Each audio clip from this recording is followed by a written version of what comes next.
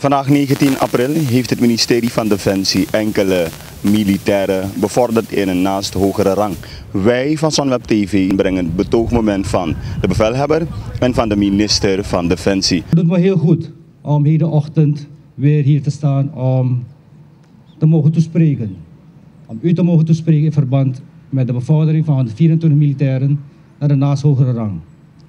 Het stelt me bijzonder goed dat wij er allemaal in slagen om op tijd bevorderingen te laten plaatsvinden. Want hoe lastig is het? Correctie, hoe lastig is het niet wanneer personeel zich bijzonder inzet en waarderingen uitblijven? Hoe lastig is het niet wanneer hardwerkende mannen en vrouwen zelf moeten vechten voor hun eigen rechtspositie? Laat mij er direct bij vermelden dat het geen gunst is van de leiding jegens u. De leiding draagt de verantwoordelijkheid en is verplicht om u te doen toekomen datgene waar u recht op heeft.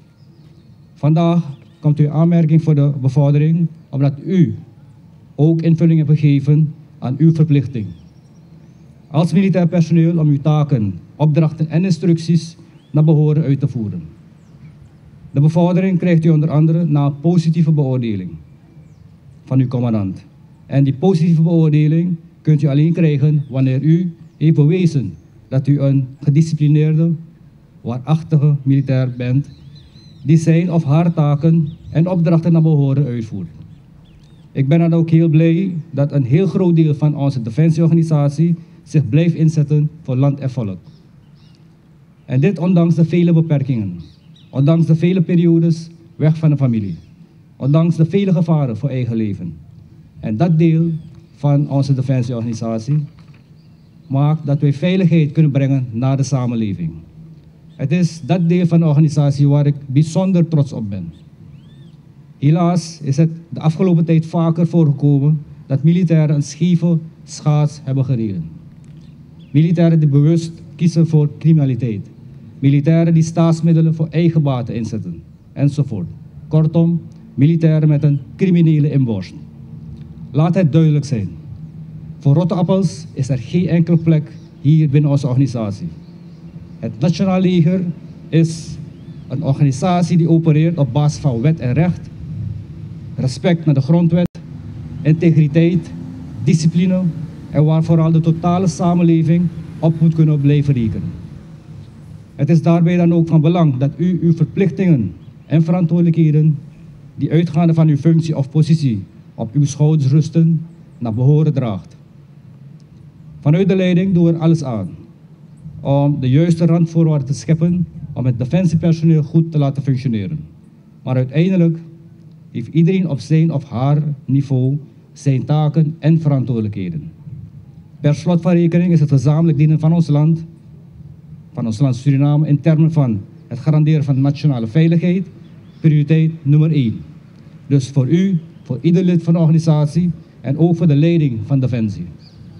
Het besef is wel degelijk aanwezig dat wanneer het keiharde veld en militair werk verricht moet worden, dat u er paraat voor staat. En dit besef bestaat bij het grote deel van onze organisatie. Vandaar dat wij van de leiding ons zullen blijven inzetten voor u als defensiepersoneel.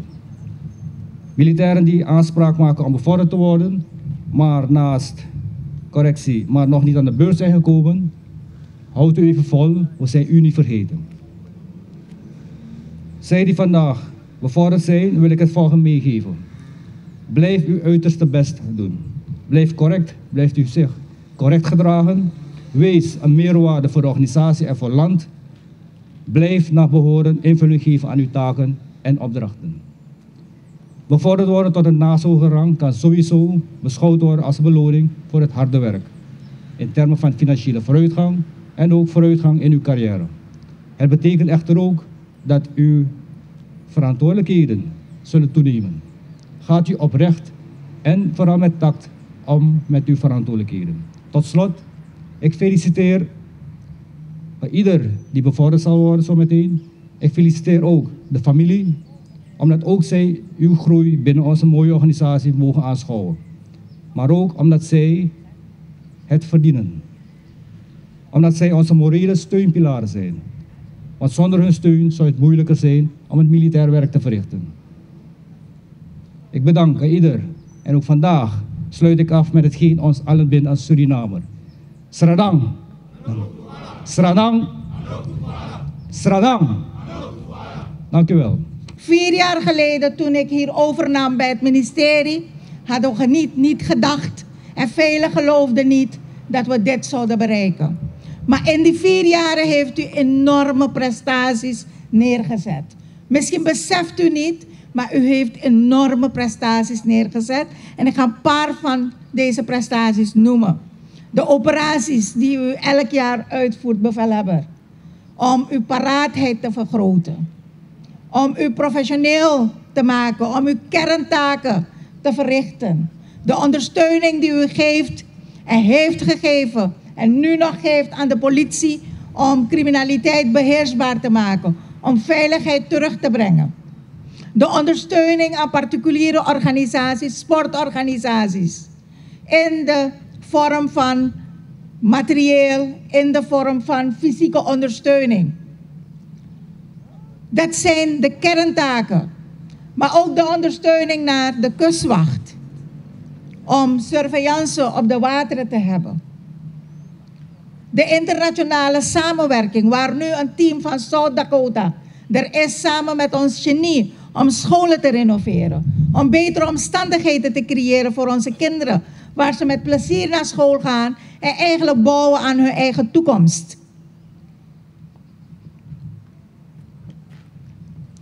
Ondersteuning van NCCR. Om alle calamiteiten ja, die er zijn. Ja, als brand in Wageningen. Maar ook gewoon wanneer er overstromingen er waren. Wanneer daken weggerukt zijn. Alle ondersteuning die u geeft om weer te herstellen.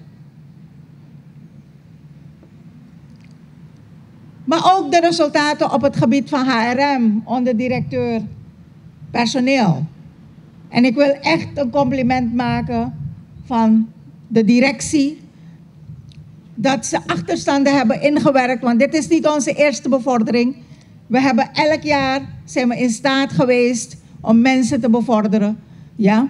En dat is een prestatie van de afdeling HRM, van de onderdirecteur personeel en samen met de hele legerleiding die mensen heeft voorgedragen, beoordeeld, mensen die aan de eisen voldoen en de hele procedure ingezet om naar de raad, naar de minister van Binnenlandse Zaken, naar de president, om die hele procedure uit te lopen, uiteindelijk de beschikking en de resolutie te krijgen en op de dag van de bevordering inderdaad dat aan u te geven. En het lukt veel organisaties niet, laat me dat ook zeggen. Dus de hele transformatie van ons HRM, de instroom, de doorstroom, maar ook de uitstroom die we afgelopen periode ter hand hebben genomen, maar de automatisering die nu op dit moment gaande is. Het investeren in uzelf. Vorig jaar hebben we 23 opleidingen gehad. We hebben dit jaar weer een aantal opleidingen met succes afgesloten. Niet alleen in Suriname, u opleidingen te laten volgen, maar u ook te sturen naar het buitenland, zodat u ook daar opleidingen kunt volgen en dat u kunt werken aan uw eigen kennis, uw eigen vaardigheden, maar in het bijzonder uw eigen inborst, uw eigen attitude. Dat zijn allemaal verrichtingen geweest van afgelopen vier jaar. En we gaan door. De internationale samenwerking. Want terwijl we hier zijn, hebben we een groep van Franse, Frans-Guyanese militairen die onderweg is terug naar Frans-Guyana. Er waren 70 militairen hier die hebben eigenlijk schietoefeningen gedraaid, maar ook gewerkt aan onze schietbaan om te, te brengen naar internationale standaarden. De helikopters zijn geïnspecteerd en morgen gaat het team terug en de helis zijn weer in de lucht. Ik zei al, South Dakota is hier. We zijn bezig met de renovatie van scholen.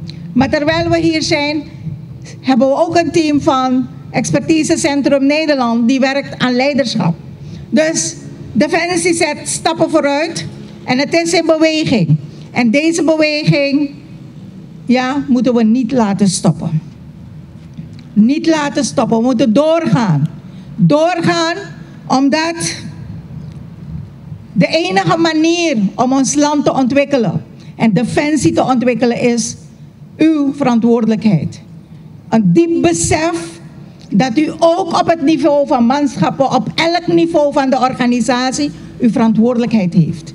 Verantwoordelijkheid op uw schouders heeft genomen en dat u beseft dat we die verantwoordelijkheid met verve dragen. Met moed en durf dragen. En dat we dienstbaar zijn aan ons eigen land. Ja? Dus mijn oproep vandaag aan u is, laten we doorgaan mensen. Laten we ons land blijven dienen. En dit is ook nodig om Suriname te blijven dienen en Suriname op een hoger niveau te brengen. Suriname te ontwikkelen. We hebben mensen in dit land nodig. En elk één in dit land nodig om die ontwikkeling teweeg te brengen. Iedereen die een publieke functie heeft, iedereen die ambtenaar is, maar in welke organisatie dan ook, particulier, overheid, waar je ook bent, elke Surinamer is noodzakelijk, is nodig en moet haar verantwoordelijkheid nemen om dit land, ons land, uw land, mijn land tot ontwikkeling te brengen. We kunnen niet blijven polariseren en klagen. We moeten gewoon bijdragen aan een beter Suriname, want niemand gaat het doen. Wij gaan het zelf moeten doen. Wij gaan dit land zelf moeten ontwikkelen. We hebben de plicht en de verantwoordelijkheid. We hebben ook de plicht en de verantwoordelijkheid om de rijkdommen rechtvaardiger te verdelen. En dat besef moeten we ook elke dag prediken en bij in ieder teweeg brengen. Dat dit land met haar vele rijkdommen, de vele mogelijkheden die we hier hebben, dit mooi land met mooie mensen, met een mooie cultuur,